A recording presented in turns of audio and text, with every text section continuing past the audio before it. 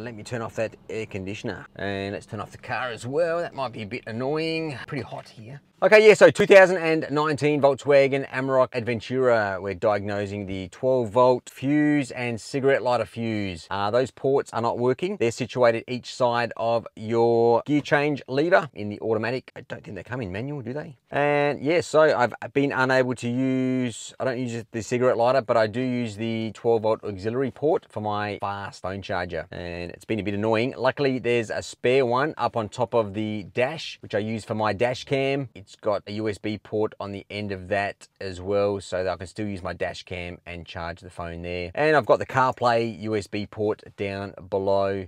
Uh, so it hasn't been a huge drama. I just haven't been able to fast charge my phone this last week. Um, I've checked all the fuses in the main fuse box. There's none blown there and it's got me stumped where this auxiliary power fuse is uh, but I've done some research, I've checked online, I've only found one forum that mentions that it's behind the steering column on one of the sides. Apparently that bit of trim comes off, so we'll go and have a look at that and see if we can locate the fuse. And just an update on that info, I've had my mate Steve from Motive Mechanical on the Gold Coast. He's sent me a few messages trying to locate this fuse box and he's told me to definitely check under that trim and he sent me a little diagram to tell me what fuse it is, but there's only a few fuses behind that one. So we'll go behind there and see if he's correct. All right, let's get into it. Where do we start? So this is the uh, dash cam port on top of your dash here that I've been using. Um, there's a U USB port on the end there. I know they come with about 5,000 meters of cable, a bit annoying, but that's got me by. So these are the ports in question that are not working. This little fast charger here from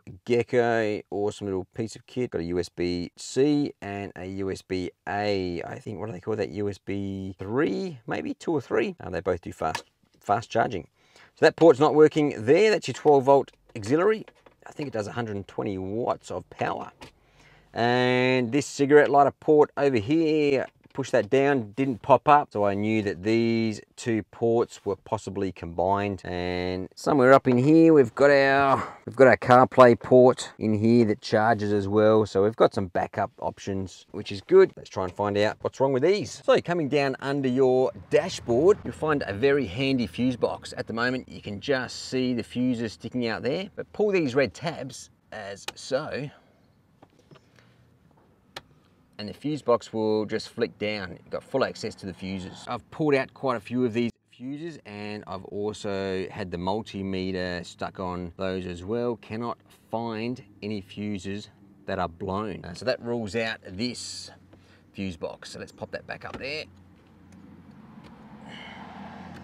Now, apparently we have another fuse box behind this panel that sits around your steering column. So the first thing we're going to do is pull down the lever to your steering column adjuster. Make sure that's down. These should just pull out from the side. Grab around here and just pull. They've got some clips up there. And the same on this side, just grab this side here and there we go. And what do you know, I can see already a sneaky fuse box right there. Now apparently it's one of the top fuses. Could be a 30 or 20 amp, but looks like we've only got a 20 amp fuse. So down below on our main fuse box, there is a fuse puller. If you want to grab that out, you can use that to pull the fuses out. Um, this side is for your little mini fuses and the other side's for your large traditional fuses. So pop up here to the upper fuse box and I reckon you can test these with a multimeter but I reckon we'll just rip out the first one and see. Here we go. So that's our so that's our first fuse and it looks pretty shot. Let's get a focus there, come on. So yeah, that fuse is definitely shot. Check that out. You can see right through it. There should be a little join in there. Let's pull out a good one and I'll show you what it's supposed to look like. So that's what your fuse supposed to look like. See that little uh, V shape in there? That's what your fuse supposed to look like. Got a little connection inside there. So we'll pop this one back in. See, it's actually easier without the tool. Now, let's grab, I've got a new packet of fuses right here. So we need to match that 20 amps. Let's pop this one out one-handed. Don't lose those other fuses. Keep those for spares. So we've got another brand new fuse. It's got a little V shape. If it wants to focus, V shape there. Let's pop him in the number one, two, three, four, five, number five down.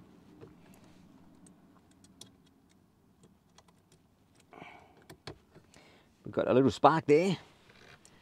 And what do you know, we've got a little LED light now in our auxiliary phone charger, if it wants to focus. Look at that. And we've got some smoke coming from our cigarette lighter. She's just popped open.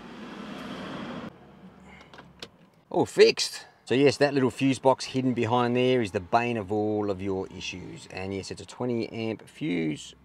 That's what you need to get. You can actually get these from any auto store, super cheap. Even Bunnings, I think, sells these now. Um, and that's it. And I'm sure you can keep a few spares up in there, which I might do now. Oh, I've got this 10 amp fuse. Let's see if it fits up in there.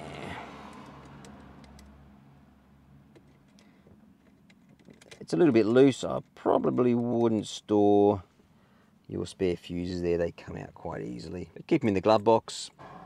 So there you have it. Hidden fuse box in the Volkswagen Amarok. Uh, this is from, I'd say 2017 or 18 onwards. Behind that model, it could be the same. Check yours out. Just rip that panel off or around the steering column and generally it will be that first one there for your auxiliary power output. Let's put the uh, panel back on. We'll just pop those fuse tweezers back in shortly. So this just pushes in. There's some clips here here and here. These correspond with those plastic clips here. I just push them in like so. They clip in very easy and go across to the other side. Uh, that's actually my Redarc trailer brake control. There's a clip here and here which corresponds to these two plastic lugs here. Let's give them a push in, make sure that cable is out of the way. And just simply click it into place. Don't forget to adjust your steering column to where you feel comfortable and lock that back in with this lever here as well. All right, beauty. Fuse all fixed, still working. Let's grab the phone charging cable and see if we've got some charge. I've got no idea why that blew. But let's unplug my mic from the phone here. Get out of there. And plug in the charger. And I think we've got charging. It's still lit up. I assume it's charging. I can't see while I'm recording. Yep, that's charging good. So yeah, all charging, all fixed. And ah. so yeah, if you can at least like this video and leave a comment below, that would be fantastic. And if you want to subscribe, I'll be posting more random car tips, tools. Eventually, I'll be doing some awesome review stuff on some stuff I've got around the workshop and home. And I'll see you on the next video. Thanks heaps. Beauty. And as always, thanks for watching. If you like what you see, hit the like button. Leave a comment below. That would help my channel grow. And if you want to subscribe to my channel, that would be fantastic. Beauty.